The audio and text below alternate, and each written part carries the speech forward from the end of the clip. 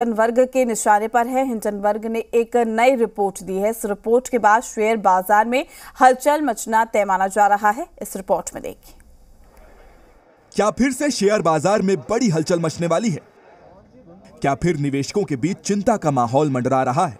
क्या फिर शेयर बाज़ार में निवेशकों को भारी नुकसान की संभावना लग रही है? हिंडनबर्ग की नई रिपोर्ट में इस बार सेबी के चेयरपर्सन निशाने पर हैं।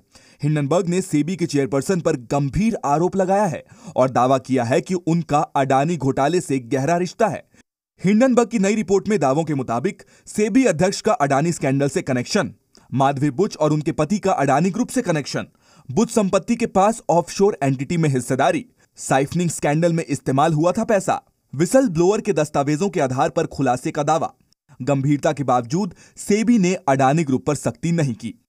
हिंडनबर्ग ने अपनी रिपोर्ट में यह भी दावा किया है कि अडानी ग्रुप के खिलाफ जाँच में सेबी की भूमिका संदिग्ध है। हिंडनबर्ग ने सेबी की चेयरपर्सन माधवीपुरी बुच की निष्पक्षता पर सवाल उठाए हैं। ज़ाहिर है, इस खबर के बाद निवेशकों के बीच चिंता का माहौल बन सकता है। हिंडनबर्ग ने अपनी रिपोर्ट में सेबी